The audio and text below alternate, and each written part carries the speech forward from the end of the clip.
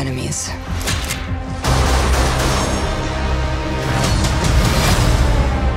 His call sign's Taskmaster. He controls the Red Room. They're manipulated, fully conscious, but no choices. I should have come back for you. How many others are there?